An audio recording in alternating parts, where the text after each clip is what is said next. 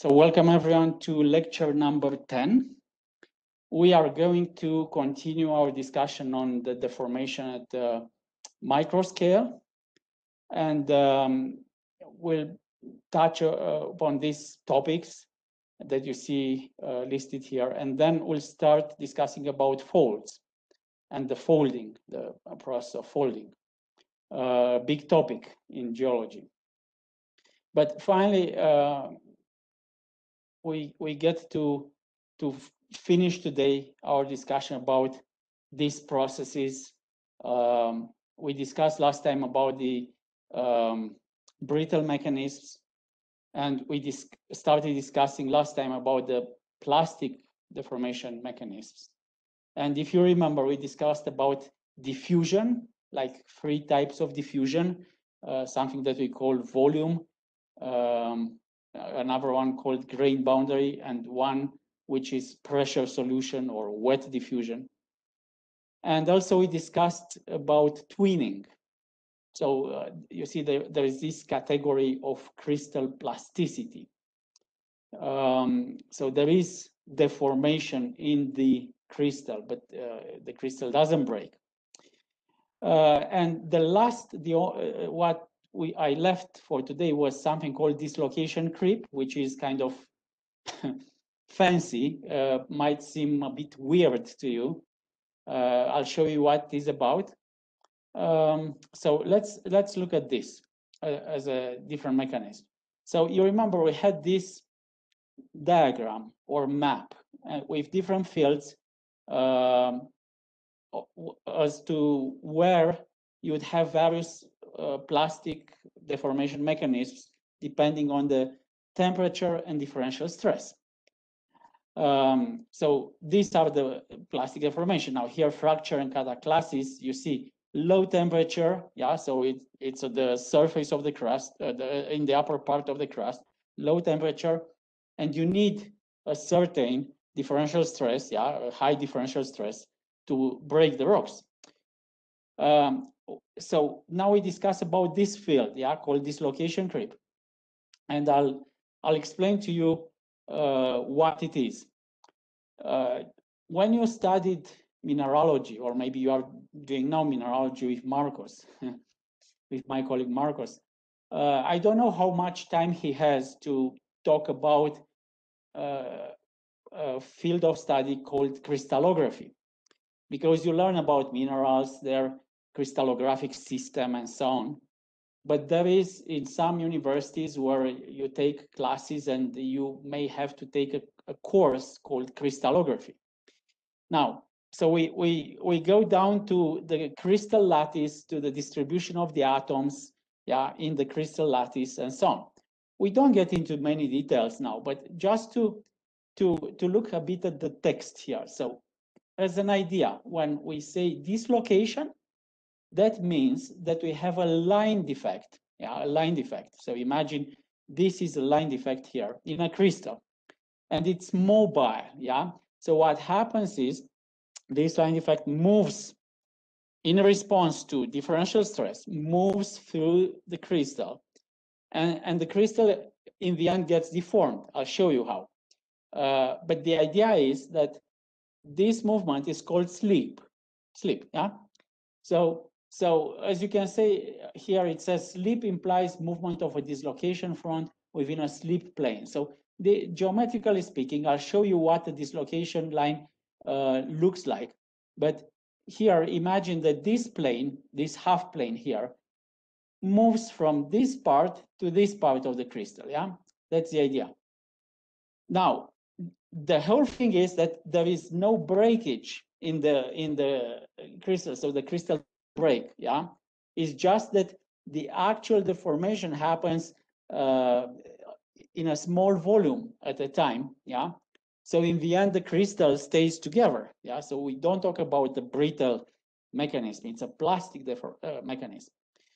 Um, so you see here like a definition, yeah? When we talk about dislocation creep, we talk about formation, movement, and destruction, yeah? So disappearance of these dislocations in a crystal. So let's let's look at, at these dislocations first. so if you were to play a game, you can imagine this initially was a very nice um, regular uh, crystal lattice with the atoms, yeah, in these nodes. The defect here, which is called edge dislocation, what you can see here in the regularity of, of this is that you have a half plane in the middle here, but it doesn't continue here. So as you can see, the crystal is kind of deformed here, yeah? You, you can see this. It's this extra half plane, if you want, yeah? It looks to us. So this is called an edge dislocation, yeah? Which is the edge of an extra half plane in the crystal lattice, yeah? So that's, that's the idea. And the slip direction goes like from here to here or from here to here. So that's why it says this half uh, plane, uh, you see it's perpendicular to its slip direction. So the slip direction is like this. I'll show you uh, how it moves. There is another type of dislocation. This is even fancier uh, to imagine, and you can see it here. So initially, you can imagine this atom was linked to this atom, and everything was perfect. But there was kind of the, that's why it's called screw, yeah, screw because it, it like from the screw, yeah, it, there is a bit of rotation here if you imagine this. Now, let's look at the edge dislocation. We won't go into all the details. It's just for you to get an idea, yeah, an idea, uh, an idea of this dislocation creep. So if people look with the electron microscope, to, to them, these dislocations look like this. Yeah, so these are dislocations. You see, there is something that breaks the normal structure of the of the crystal. And here you can see these are the dislocations. And then several of these dislocation uh, planes, they get together and they form a dislocation wall. We'll talk in a bit about this. And these dislocation walls break or separate the, the initial crystal into two subgrains. So here you see a subgrain boundary, there is a wall, and you have two subgrains, yeah? That's the idea. Um, so let's let's look at this cartoon. Yeah, at this cartoon. So initially, you have this very nice and happy crystal, nothing bothers him, and suddenly you have some stress imposed on it. Yeah, so that's the idea of differential stress. So you can imagine the stress, yeah, impinges here on the crystal lattice. And what happens, it forces kind of this part yeah, of this uh, initial plane, half of it, to kind of suddenly slip. So it slips, this atom will connect to this atom, yeah? You, you can see. And then this atom will remain suspended here in, in the air. You see it here. So by doing this, this is what happened, yeah? But the stress continues. So then this uh, atom will actually li will link with the next atom and this whole thing will get translated. You see it here. And then it will get translated more, yeah? And basically, the uh, if it ma manages to get to the edge of the crystal, yeah, at the edge, the dislocation is basically destroyed. So uh, actually, you see how the crystal was deformed without breaking. Yeah, so that's the idea. That's why you call this plastic defor deformation. Yeah, but at a very, very small scale. You can read the text here, it explains this. This is from a different textbook, yeah? But in the Fossen textbook that you have, they show the same thing, but now they show it from the left to right, yeah? So I've shown you from right to left, this is left to right, and you can see, now they show it in 2D, not in 3D, but you can see how basically this will connect here and this will stay suspended here. Yeah, you see it here. And then so it gets basically, as you can see, it gets translated. and by getting translated, you see how the crystal is deformed at the end. Yeah. So that's something that this slip is also called dislocation glide. Glide or slip, yeah, it's the same. Now, in addition to glide, so glide or slip is what I've shown you until now. There is another process called climb. So as you can see, as you can see, what you have here, you have, let's say, an atom that jumps here. Yeah, you see, atom jumps into half plane here. Yeah, and here you have a vacancy. So basically, as you can see, the extra half plane here got extended. All right, so this is called climb. So actually, the plane, this this location moves like this, but can get extended or shortened. Now, if, if it were to get shortened, you see what happens. This atom jumps into this vacancy and this gets shortened. Because we discussed there are also vacancies in the crystals. They are not perfect, yeah? You've seen last time. So you have these two situations, glide and climb, up and down. Com if you combine, does matter. If you combine, this is what is called dislocation creep. Yeah, so this is the thing, dislocation creep. This is the combined activity. So I think I just wanted to give you, uh, you know, kind of this understanding that in in the crystal we have this kind of movements, and this is a plasticity of the crystal. Yeah. Um, now, I I've shown you this. Now let's come back to something that we discussed really early in the in the class, and then we had the test.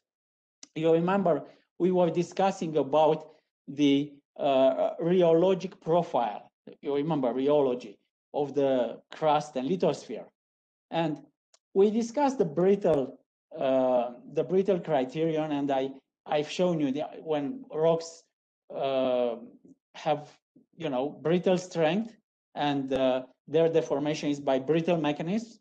There is the Byerlee's law. You see this straight line here. But at some point, I, at that time, I've shown you, there is what we called the plastic flow law, plastic flow law, yeah? So, and I, I, I, I've shown you a function like this. Now here, I'm just, you know, kind of, we got to the point because we discussed about plasticity, we discussed about all these plastic mechanisms, to have a look at what the description of this function is. Yeah. So you see some examples of descriptions. You don't have to memorize these things. But for instance, dislocation glide, which is what we just discussed. Yeah. Dislocation glide is it's this thing. Yeah. This one can be described by this by this law. Yeah. Which links the strain rate. Yeah. The strain rate to the differential stress. That, that's what it is. So for instance, if the mechanism is dislocation glide, you can use such a relationship to know what uh, the law is. If, if uh, for instance, if it says, if the dislocation creep dominates, yeah, then the law becomes here, you see it is a power law creep. So here it's n is equal one. So this is a particular case of this one. Just for you to have an idea, yeah, why this is different from this. This is the equation of a line. So here we have, as you can see, as an exponential um, function. Now, um, if the the flow, the plastic flow, is by diffusion, like mechanisms that we discussed uh, last time, uh, the expression looks like this, for instance. Yeah. So just for you again to have an idea, you don't have to to memorize them. Yeah. Just to to uh, complete this part of information that you had to see that without knowing why. So the, basically, this mathematics describes the processes, the physical processes that we just discussed last time and this time, yeah, uh, the beginning of this class. All right, now let's finish the story of this deformation at microscale with something that uh, that um, uh, you know it's like the second part of the story. What happens is that when you see these uh, crystals, yeah, being deformed, yeah, they acquire strain energy, yeah, so strain energy because they get strained.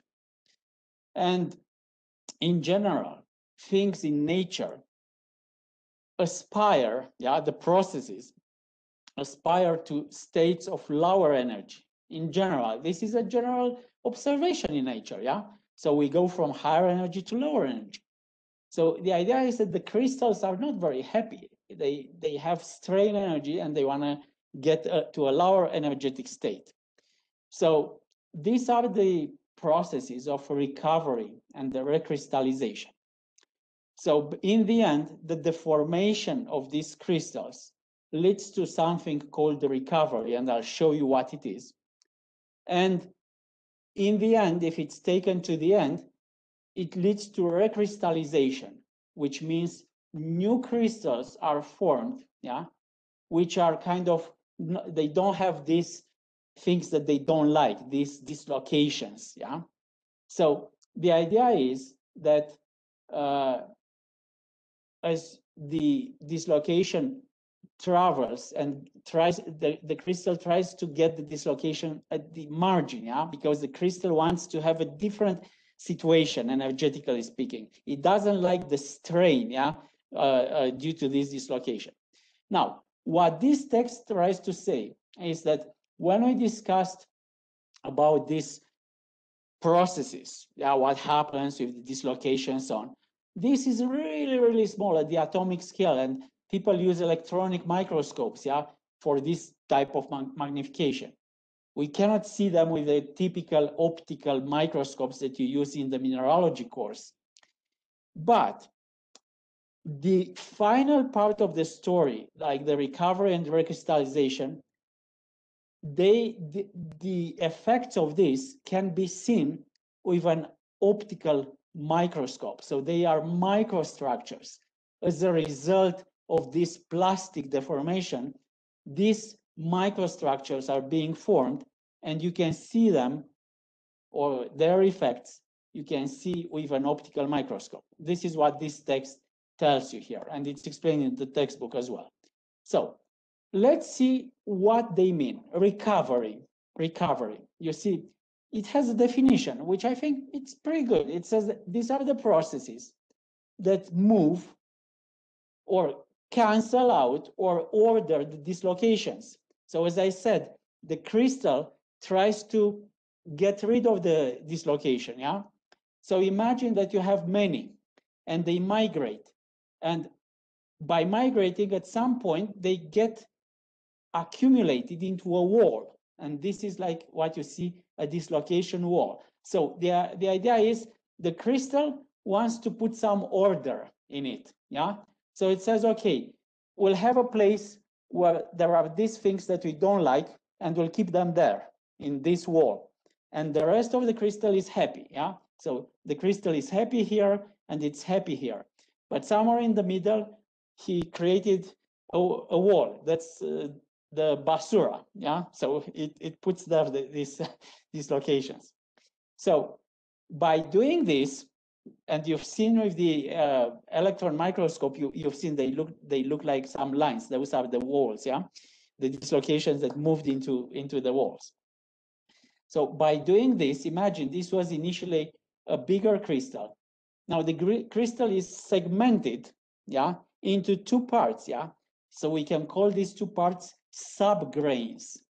One subgrain and another subgrain here, yeah. So what happens because of this wall, the two subgrains are kind of pushed one uh, from the other, and there is an angle between them. And you see, usually it's less than five degrees. Now, what happens, you, if you took the mineralogy class uh, and the mineralogy laboratory course, and if you had the chance, now the problem is if you did it in the past, you could come on campus look at the microscope. Now, I don't know what my colleagues do with the laboratories because the laboratories being virtual, they have to show you pictures. But the idea is that when you look, for instance, uh, you look with the microscope in polar, uh, cross-polarized light, and you look at quartz crystals, you'll see that some quartz crystals have some undulations, yeah? It's not like one quartz crystal, it's only one color. It has part of it it's lighter, part of it it's darker, so it, it seems that there is something about it. Those are the subgrains, yeah? Those are these domains separated by these dislocation walls, yeah? So when you look in the microscope, you'll see these undulations. You see here, it's a certain uh, shade and here another shade and here there is uh, another shade and so on. So this is your undulation that you can see in some some of these crystals, yeah, here the same. This is the microstructure. This is why we can see with the optical microscope the effect of this process that we call recovery. All right, so recovery, the crystal tries to recover itself to, to, to get to a, as better a shape as possible. Okay, now, beyond the recovery, there is recrystallization. So recrystallization, yeah, means the strained grains eventually get replaced by unstrained grains. So there is recrystallization so that they get rid of the dislocations. Yeah. So, so um, the idea is that um, you can have this recrystallization happening during the deformation. So there are competing processes. Imagine the differential stress. It deforms, it forces the crystals to deform. And at the same time, the crystal deforms and then it tries to recover and recrystallize. So basically two competing processes. So recrystallization basically is the state where the crystals have a lower energy, yeah, have a lower energy in response to the stress. And if this happens during this uh, period where you have this uh, differential stress acting, we call it dynamic recrystallization because it's during that time. Now, if the deformation happened, yeah, during a certain geological period, and then it stopped, and recrystallization happened afterwards, the crystals tried to recrystallize, it's called static recrystallization or annealing, yeah? Static recrystallization. So the idea is uh, you have this competition, I, I tried to explain to you, between deformation and recovery and recrystallization, yeah? And recrystallization, this is, I'm gonna finish here with this uh, part of the um, micro scale, just for you to have an idea. So you have two subgrains, yeah, five degrees. So if this rotated by five degree, by less than 10 degrees, we call it subgrain.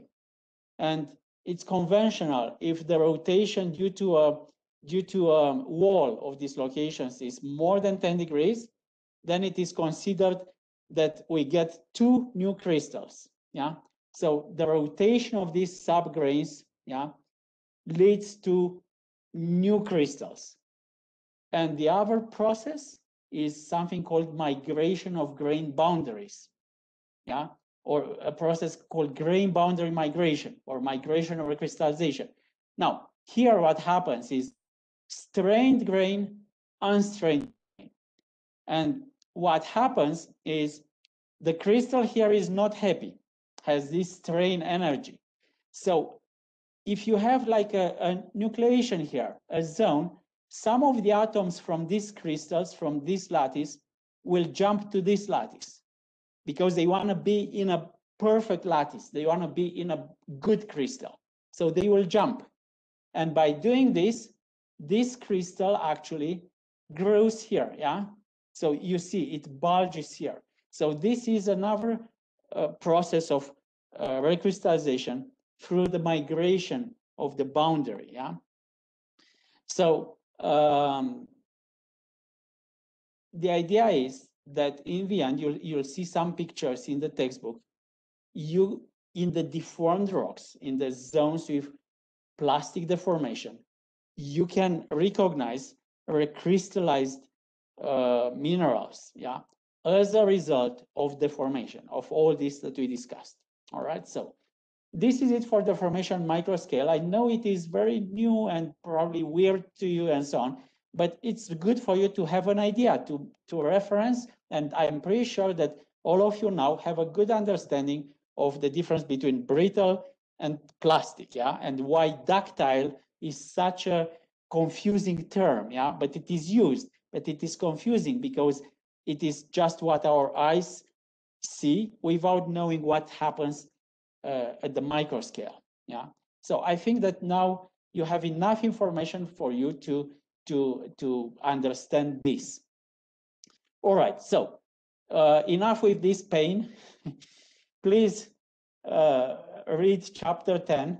Uh, a few pages here, they have uh, diagrams and pictures, so it's not that much text. Don't get scared.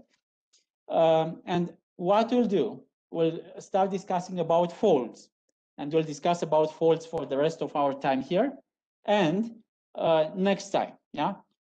So in the same manner that we discussed about faults, like fajas, yeah, which are very important in geology.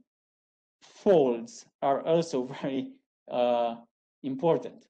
I think they are pligas. So uh, in English, you see fault and fold kind of, they sound uh, almost similar. So uh, you have to have a very good diction to make it clear what you are talking about.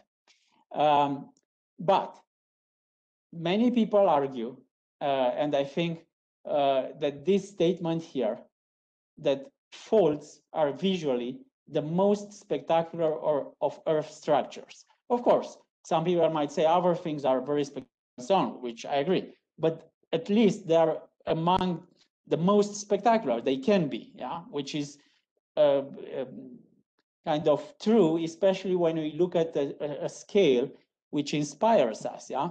And if you look, I wanted to put this picture here because here is a, a person. So you see the scale here, yeah? So this is spectacular. And I think this is a very beautiful rock because uh, what you have here, uh, you have gneiss. You have gneiss that was folded, but the gneiss was bended. Uh, so bended gneiss had different like layers of mafic and felsic minerals. Now, these layers are not like the sedimentary layers in the rocks, because in the gneiss, the gneiss is a metamorphic rock. So it's a, it's a rock that was formed under uh, intense pressure and temperature. So the pre-existing rock was completely transformed into this rock. Yeah, so it's a metamorphic rock uh, as a result of intense metamorphism. And during this process of metamorphism, yeah, what happens is that you get a separation also through plastic, through plastic processes of flow, a separation of the mafic and felsic minerals, and they look as if you have layers, but they are not sedimentary layers, yeah? It's just the result of metamorphism. And in this outcrop, if we had such an outcrop, we could spend uh, a few days examining it because it's quite impressive. And if you read this, if you read this um, uh, legend, yeah, not now, when you read it, I, you know, I urge you to do it. Not to, uh, there's nothing for you to, to torture you. It's for you to see what a typical, very technical text in geology sounds like. Yeah so that you are, you will understand why I insist so much that you understand the concepts and the terminology and all these things so that you can read these things yeah? Uh, and when you read this you'll you'll you'll uh, read about folds and it says upright yeah? So upright here. And it says folded boudins what are these? Well are these things. You see the black things it says fb FB. You see the dark things, these are mafic minerals, yeah, mafic minerals. And this is a more competent, a more competent, you remember uh, the concept of competence, a more competent layer yeah, of mafic or region of mafic minerals uh, in the gneiss. So basically it got, through folding, it got flattened and extended and it kind of broke into pieces and you see the pieces. So these are called boudins, yeah? So uh, up to here, we talk about structural geology. Yeah, and this is what we are learning now, structural geology. But then it says something very interesting, resulting from continental collision of East and West Gondwana.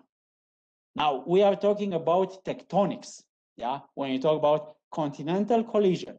So we learn to read the rocks so that we can understand the history of the uh, of the crust and of what happened with it. So that's why we have to go slowly through these things, and some are boring, I know, to to be able to have a beautiful perspective. it, it is, you know, structural geology and tectonics, in my opinion, it is the same way like climbing a mountain. You put a lot of effort and climb and climb and climb. And when you get to the top and you understand them, you get a beautiful view. Yeah, that's the idea. So that's why we are doing this, uh, these uh, uh, lectures. So you can read this just for you to, to see how the terminology is used, yeah, and why we need to, to, uh, to learn it.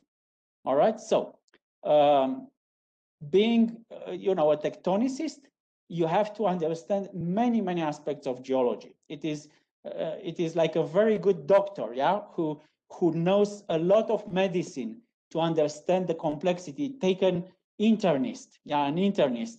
He, an internist has to understand so much in medicine to be able to understand the physiology so well and to diagnose any problem, yeah. So it's more or less the same with you know, tectonicists. Now let's have a look at this one. So, uh, oh, that one, the, the previous one is from Antarctica. Yeah, so uh, quite cool. This one is from Tibet, you see in China. What we are looking at here is a, a syncline. So the you see this big fold, yeah, and you see the different layers. Now these are sedimentary layers, yeah. These are sedimentary layers. Uh, and what uh, the uh, authors here say, they, they say that you should have a look at uh, the scale of this thing. This is a village here, yeah? So this is a village. You see some constructions here, some trees, yeah? And look at the scale. So it is absolutely impressive. It is absolutely impressive. And if you read this again, it's okay, we are looking at a syncline that's okay. We are learning structural geology, but our purpose is to understand what happened with the continental masses. So it says this is one expression of the tectonic shortening, yeah, from the collision of the Indian Australian plate and the Eurasian plate. That's why we have the Himalayas. We will talk about the Himalayas in the second part of the course, but I'm just trying to encourage you to see beyond you know, all these details that we are discussing, yeah? So very, very um, impressive. So it says that the folding, you see this folding, uh, was achieved through flexural slip along bedding. So we will learn that flexural slip means kind of slip at the interfaces of these layers to accommodate to accommodate this shortening. Yeah. Um, and um, you see the core, the core of the fold, which actually is uh, the ridge line, yeah, is the highest part here. All right, so very, very uh, nice picture, I would say. This is from your textbook, yeah, it, it shows limestone that is folded and so on. So what we do in, in structural geology, we try to, to rationalize, yeah, to have a rational view at these folds because uh, a person who is not a geologist will say, wow, how beautiful. But we have to move beyond how beautiful and to be able technically to say things about uh, uh, the folds. Yeah. So that's why we will start today discussing the geometric aspects of folds. And next time we'll discuss the processes of folding. Yeah. That's the idea. Uh, one more picture to um, uh, have you enjoy something nice. This is from Greenland. So as you can see, we've been to Antarctica, we went to Tibet, and now we go uh, at the top of the world in the Northern Hemisphere and we go to Greenland. And what you see here, you see another fold, but there is a word here, it says recumbent. And the recumbent means this fold that lies on its side, yeah? So um, another impressive thing here, I would say, if, if you read, is that this cliff, the basically the distance from the river here to the top is about 800 meters. So quite impressive, yeah? So uh, Greenland has these cliffs actually, um, and um, geology in Greenland is done with the helicopter, otherwise it's virtually impossible. All right, so now that we know what we are talking about, yeah, let's let's go and look at the geometric aspects of folds and and rationalize and make sense of these things. Yeah. So let's look at these things. We have some terms here. Yeah. And the terms, if you look here, the easiest way. Yeah. If if you were asked draw for the uh, a baby, yeah, like a three-year-old could put two lines like this, yeah, and then you can say, well, this is more or less something that represents a fold, a sketch. So we call the two sides limbs, yeah, limbs. And uh, the point, if we look in this cross section, yeah, uh, the point where they meet, we call it the hinge point. Now you can imagine this is just the cross section. If we have in 3D, we have a hinge line, yeah. Um, however, normally when you look at, at, at these things here, yeah, these things, you see some curvature here, yeah? You see some curvature. You don't see just, you know, two lines coming like this in most cases. So we have something called a hinge zone, yeah? Where you have this uh, change uh, of curvature and here you have curvature zero. So, and, and it changes, yeah? But the hinge zone, you see, can be a bit different. You have a, a spectrum of hinge shapes, yeah? Uh, this is a, a, pointed one, yeah, uh, and you can have a very, you know, rounded one, yeah. So, so the idea is that these ones, for instance, if you look here, these are called kink uh, bands, kink bands, and uh, you can say, okay, this is something similar to this. Yeah, we just have these two uh, straight directions meeting. These type of folds are called chevron folds. Yeah, chevron folds. So again, more or less something like this. But these are concentric folds, and you see why they call them concentric. Yeah, you, you see these very nice. Um, these ones, yeah, these ones, uh, for instance, called box folds. Yeah, yeah. The idea is that they are more complicated. You see two axial traces here, uh, and so on. Now, so in this slide, I wanted you to get familiar with these terms. You have them here limbs, hinge point, hinge zone, yeah. And as if you study mathematics, this is an inflection point, yeah, an inflection point. So um, you can imagine what happens here at the inflection point. It is uh, one curvature here, another curvature here, yeah. This is uh, is concave up, and this is convex up, yeah. That's the inflection point. All right, now um, let's look at something a bit more complex. Now that we, we have this uh, terminology, if you remember, we looked in a cross section, yeah? This was a cross section, and you know about the hinge point already, you know about limbs, and you know about the inflection point, yeah? So here are definitions, hinge point, maximum curvature, yeah? maximum. Um, the, now they are connected, the hinge points, yeah, are connected by a hinge line, yeah. So you can take many cross sections, but this is a hinge line, all right. And if this line, if this line is straight, not curved like this, straight, then the fold is called cylindrical and you can understand why, yeah? So it is called cylindrical. So this is a cylindrical fold, and this one is not, because the hinge line is curved. You see it here. Now, you can imagine, imagine that you have several layers, yeah, kappas here. Let's say we have some shale, some sandstone, some uh, uh, siltstone here, yeah, and they get folded.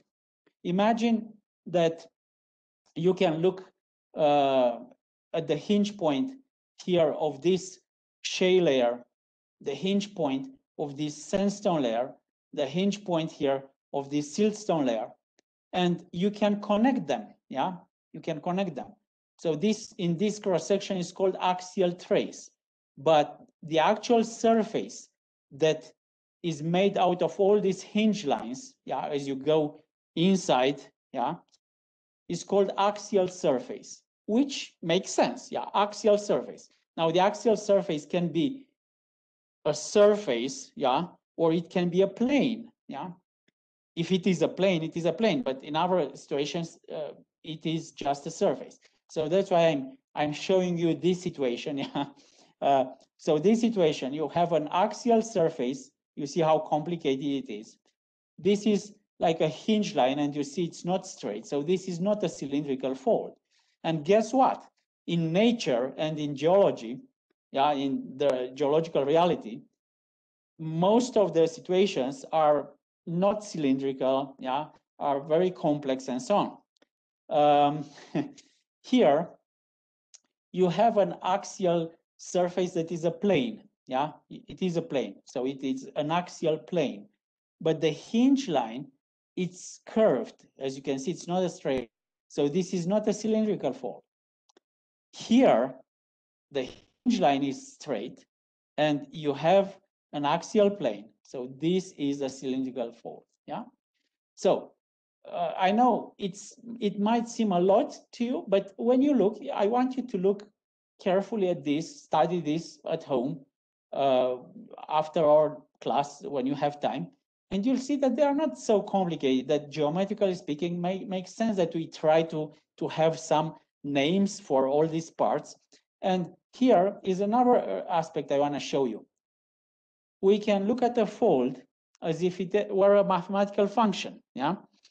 And we can say, well, this is the wavelength, yeah? Let's say you can have folds that kind of repeat, like a sinusoidal function, yeah?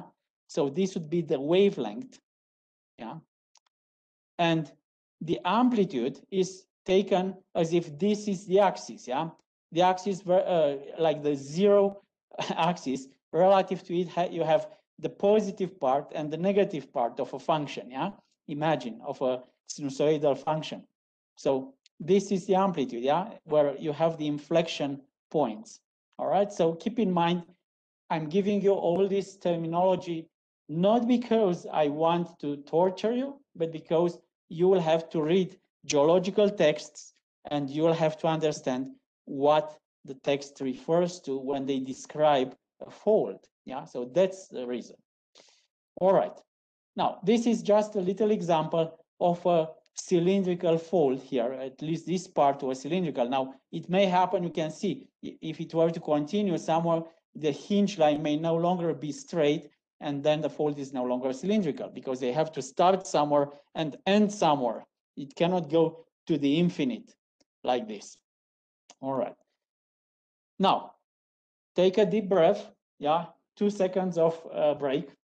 Uh, let's see, we have a, what I'm, we have here. So, terminology, monocline. You see only one limb is inclined. So for instance, the limb here is horizontal and the limb here is inclined. The limb here is horizontal, the limb here is inclined. Monoclinal fold. Okay, this is an antiform and this is a synform. Yeah. So antiform, the limbs go deep down, yeah, away from the hinge. Synform, it's the opposite. Yeah, the limbs go up and uh, the the whole thing looks like a valley. Antiform and synform, we use these terms when we don't know when we don't know the stratigraphy when we don't know if this is older and this is younger or the other way around. So if we don't know this and you talk to someone, technically speaking, but you don't know the stratigraphy, you say, okay, look at that antiform. Now, if you know the stratigraphy and you see a limestone layer and a shale layer, and you know that in that region, the stratigraphy, the, the limestone layer is uh, younger, the um, shale layer is older, then you can become more precise and you can say, this is an anticline, yeah? So an anticline, the rock layers are younger away from the axial surface. So this is the axial surface and away from it, as you go away from it, the, uh, the layers are younger. So that means this is younger than this. And then you call this an anticline. Okay. Now, if this were to be folded the other way around, yeah, like a synform here, and what happens, the layers get younger as you get closer to the axial surface. So the axial surface is here, yeah? So as you go closer to the axial surface, the layers get younger like this. So this is younger, this is older. We call this a syncline. Okay. Now, again, another deep breath. What if it were the other way around?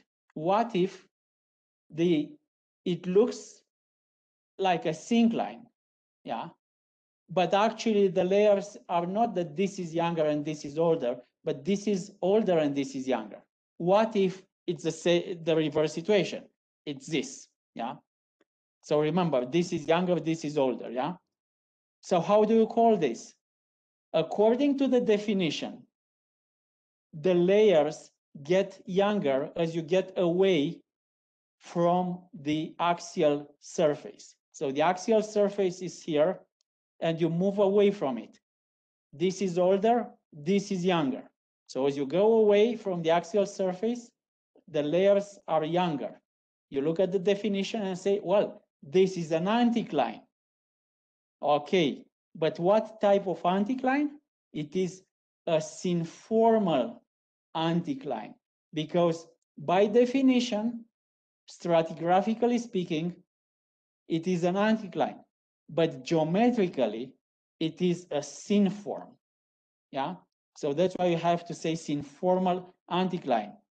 Now, obviously, here we should have said antiformal anticline, for instance, to be very precise. But no one does that because when you say it's just an anticline, everyone understands that you say, well, it is an anticline, it is antiformal as well. Yeah, but if it's the other situation and the layers get younger away from the axial surface, then you have to say geometrically it looks like a seam but stratigraphically it is an anticline. And the other so way around. The difference yes. is the process. Uh, uh, yes, Gabriel, what, what's the question? So the difference is the process. For example, well, the, the process that led just... the actual deformation processes that led to the geometry that we see because the, the geological layers can be overturned and so on. Definitely, of course. But let's say you have an outcrop. Now we, we discussed at the level of an outcrop and you, you see this. And then you have to have a way to refer to this, yeah? And then instead of someone writing, well, we have a structure that looks like a synform and the layers get younger away from the axial surface. Oh, I already wrote a, a big sentence. A geologist will say, we have a synformal anticline. Bye. Okay, so that's the idea. Then if we discuss, as you say, Gabriel, how we got to have a synformal anticline, how that we have an overturned stratigraphic section, obviously that we we are getting at a different scale, yeah, and we start discussing about regional geology and then tectonics. So I want you to take time when you have a bit of time and think about these things and they will make sense to you. So in the end, what Gabriel was pointing out is if we look at these pieces, because this is what we see in, in an outcrop, we use these things. But then when you see that, in fact, each of these pieces might be part, might be part of an actually, you had some layers that were com very complexly folded. So you had an initial fold that got put on its side and then the fold itself was folded. Yeah. So imagine what can happen in geology. So in the end, you have such a complex situation, but you can see only parts of it, only parts of it. Yeah. And then you say, well, I see only this, I have an anticline. I see only this, oh, it's a syncline. But if I were to see in the outcrop only this, antiformal syncline, yeah, for instance. So what I mean to say, you as future geologists will look at different outcrops and will try to reconstruct in the end the geometry, the complex geometry of a piece of land, yeah, and you may end up with something like this, and then you use your knowledge of tectonics and you will say, well, what happened that we ended up with this deformation? It's like in a car crash, yeah, the investigators looked at the way the cars were crumpled, yeah, and deformed to understand exactly what happened. All right, so that's what we are doing, but way complex, more complex than in. May I ask you a question? Absolutely, yes. Uh, I don't know if it's only me, but I have like this understanding, maybe from previous courses, that always when I looked at the afloramientos and the topography and the altitudes of these ones, I always assumed that the anticlinal uh, fold will be the highest one. But looking in the laboratory, some things that we have done, the anticlinal can always can also be in a lower altitude Yeah. cannot be presented in the same Like way this. like a curve. Well, I'm not sure I understand what you mean, but but when you talk about an anticline, normally people think uh, uh, about something like this, Yes. which is actually an antiform. If you know the stratigraphy, you can say it's an anticline, but I just shown you that by definition, this is an anticline, but it has the geometry of a synform. Because anticline, theoretically anticline, is just this definition that you see here. Rock layers get younger away from the axial surface. Yeah, that's the definition. But people, instead of saying here antiformal anticline, they just say anticline. And that's why it helps and it doesn't help. Yeah, because then you get attached too much to this image. But but I want to detach you from this image. I want to you to think in terms of antiforms and synforms. And if the stratigraphy uh, obeys the definition, then you call it an anticline. Yeah, Okay. that's the idea. Okay, So there's a difference between the form of these folds and the composition of the of the folds. composition. Uh, Like you mean the the stratigraphy? That young and Hmm? that. Sorry. Uh, I mean, if the rock is young or old, or that's the, a difference between that Yeah. and the and the, So- and the form. Yeah. So the form is given by these terms: synform, antiform, like a hill and a valley. That's the the shape. Okay. the uh, the rule of stratigraphy, which is relative to the axial plane. So the axial plane of the fold is here, yeah, in the center. The rule says if you move away, as you move away from the axial plane to the ex- ex- exterior of the fold, the layers get younger or older. If they get younger, it's an anticline. If they get older, it's a syncline. These are definitions. So that's why I'm showing you this because I know from general geology, it's very simple to say, okay, this is an anticline, but it is an antiform. You have to know, as you say, the composition, the stratigraphy, the, the order of the stratigraphy to be able to use the word anticline and syncline. All right?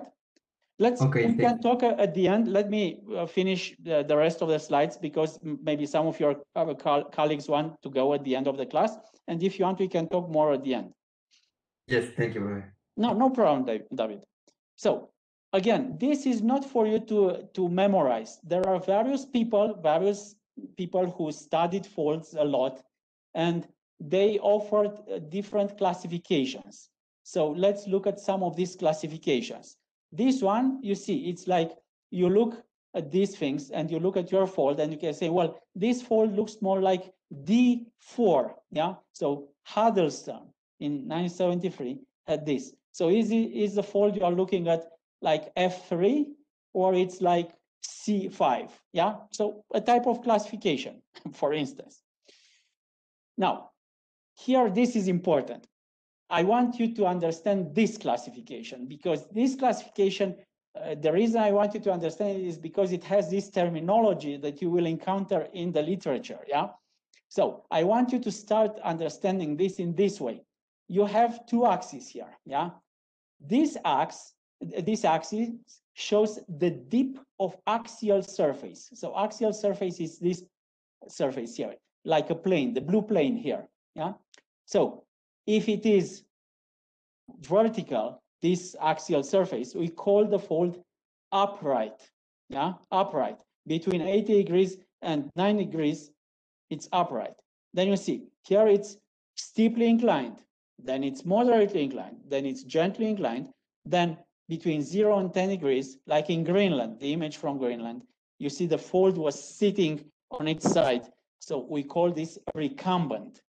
So the reason I want you to understand this classification is because I want you to understand this word. Uh, you will encounter it in the literature. That's why I want you to know it. Upright the same. So understand this. The other one on this axis, what happens of the hinge line? Hinge line is this one, yeah? This one. So the hinge line, is it horizontal or is it dipping or plunging, yeah? So if it's horizontal, it's like this fold, upright and horizontal, yeah? This is gently plunging, you see, between 10 degrees and 30 degrees, moderately plunging more, steeply plunging down to vertical, yeah? So vertical. Now, a combination of this situation, like here, what happened? The axial surface is inclined, you can say moderately inclined, and the hinge line is plunging. So it's plunging inclined, for instance. and this situation here, you can see it, it's called the reclined, okay? But don't worry about this as combinations. As you understand this axis and this axis, that's fine, fine enough, yeah? Because then you can imagine in your mind, it's moderately inclined, moderately plunging, yeah? Then geometrically you can remember the combination of these two surfaces, yeah? That's the idea. Um, you see here from another textbook, from the other textbook of uh, uh, uh, how they gave this. But if I were to give you this, you would have to remember, okay, 0 to 10, 10 to 30, okay, well, this I think it's more interesting because it makes you visualize and geology is a 3D enterprise. All right, so pay attention to this one to understand it. Then our classifications that you will uh, get, this, as you can see, uh, the angle between the two limbs. You can see something that we call isoclinal, and then tight, and then open, and then gentle, yeah? Now, you see different authors have different boundaries. Like the uh, one textbook says 0 to 30 another book 0 to 10 because no one established them for yeah it's 10 or 30 so some people may say isoclinal if it's 20 degrees uh, yeah and other people might say it's tight. Well we have to understand from the context. But uh, the reason i'm putting this is not to confuse you but just to show you that this is a reality. Okay? But understand the the transition from isoclinal tight open gentle yeah? That's the idea. This is might seem complicated is just for you to know that it exists. One guy a british geologist called ramsay he decided to classify uh, folds in a very sophisticated way by using something that he calls dip isogons.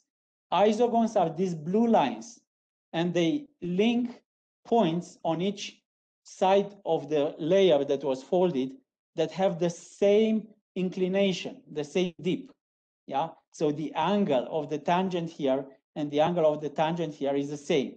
And for this one, it's the same here, the same. So the two points have uh, are basically points with the same dip on the two surfaces of the layer that is folded. The, he, this is called a dip isogon.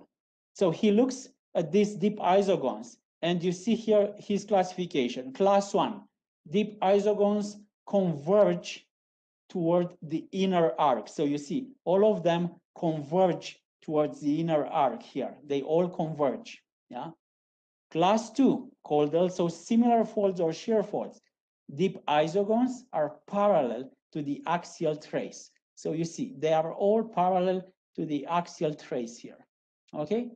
And class three, guess what? They basically diverge, yeah, um, uh, toward the inner arc. Yeah, so class one, class two, class three using dip isogons. He even divided this into three subclasses. Yeah, one A, B, C, and it's explained here what it is. Again, I you don't have to remember, but just to know when you read something in using that uses this classification to know where to go to remember what is it. And he was very sophisticated. So you know, the local dip of the layer, let's say the dip at this point, and he calculated this parameter, you see, by taking these two segments, yeah, the thickness here and the thickness here, and using these two, created this field where he separated the various classes, yeah, and you can see class two goes along this line, class three is in this field, and class one is in this field. Again, you don't have to remember now. I'm not going to ask you, draw me out of the blue uh, class 1B fold and so on. It's just for you to be aware, be aware about these things, okay? So uh, just two more slides and I'll be done. Please be uh, uh have a bit of patience with me. So symmetric folds like this one, it's a symmetric fold, for instance, yeah? Why? um, or this one, this big one, it's a symmetric fold. If you put, take the axial plane here, what is on the left is also on the right. It's like a mirror. That's symmetric, yeah? When you see them like this, they are called like M folds. You see the M here, see the M. So the symmetric folds are sometimes called M folds. Now, we have asymmetric folds these are asymmetric folds. Look at the limbs. Yeah, one limb is uh, more developed than the other. And these asymmetric folds can be S folds or Z folds. Let's see why. If you look at this on this side, you see the letter Z here, and this is Z. So this that's why they are called Z folds. If you look on the other side, it's like you ha have the letter S. Yeah, you see S. So S folds. Now, if you were to go on the other side of the fold and look uh, from the other side, now this would be the Z folds and this would be the, the S folds. So it's a relative. It's when you describe what you see in an outcrop and you see, I'm seeing S folds on these sides and so on. Yeah, that's the idea. Now, another uh, term I want you to learn is that this is like a first order fold, this big one, yeah. And then on top of it, yeah, the large fold, the big one, on top of it has smaller folds, yeah, smaller folds. They are called parasitic folds, like parasites, yeah, they are they ride on top of the big fold, yeah. So uh, new terminology for you, but not very difficult. I think it's kind of clear what what is meant. And um, you can have fold systems. Let's say this is a situation, but th this whole thing is recumbent and you have an outcrop and in the outcrop or several outcrops, you see only this section here, yeah, this section, but it's horizontal, yeah, like this. So you'll see a succession of folds that look like this, yeah, here. And this is called vergence, yeah, the constant, the direction of asymmetry, here. So this is like, you see here, it looks like an, a Z fold. Yeah, it's like the letter Z, but it has a vergence. So in geology, you'll see, you'll say, well, we have um, a fault system. I can see here in that area, I went and I saw a fault system with, with a vergence uh, towards west or towards south. So people understand. That's why we, we use these words, what you are describing. Okay. Now, how do you get them? This is a final slide. Don't get scared. You remember the coaxial deformation and the strain ellipse. Yeah, this is a strain ellipse. In 3D is an ellipsoid. So imagine a big volume of rock. Yeah, imagine a big volume of rock and imagine, imagine that this big volume of rock suffers, yeah, uh, deformation like this, coaxial deformation that can be described by this ellipse of deformation, yeah? So in this blue field is the field of shortening, yeah? So the material in there will suffer shortening. In the white fields, the material will suffer extension yeah, in this volume of rock. So if you have, let's say, geologically speaking, some layers that because of previous tectonic uh, situations are kind of vertical here, if one layer is right here, now you will shorten it, yeah? You will shorten it and you will create these symmetric folds here, right here. But if the layer were kind of dipping like this, will suffer shortening and will create these asymmetric folds, which would be Z folds, as you can see, if the layer were like this. Or if the layer were like this, then this whole volume being uh, su suffering deformation, this layer would suffer shortening, of course, and will create, will accommodate the shortening by creating these asymmetric folds, which look like S folds here, yeah? So you can see why we learned about this kind of abstract things and so on, because we have to go in the field, we have to look at what the field shows us. And in order to understand the history of the formation, now it starts making sense. We kind of try to realize in which part these layers were because they suffered this type of deformation, was symmetric, was asymmetric, and so on. Now, these are Boudins. So you, you see, you might have a, an, a, a layer that is competent. So it suffers extension by breaking. And in between the, the uh, material that can flow, you'd have folds being formed in between the Boudins here as well. You can see these ones here. So what Fossen tries to say here is that the fold asymmetry may relate to different things. Can be positioned on a lower order fold. Yeah, so fold asymmetry may relate to the fact that these folds are parasitic on top of a bigger fold, or could be the sense of shear or orientation of the folded layer relative to the strain ellipse. Yeah, so we have different situations.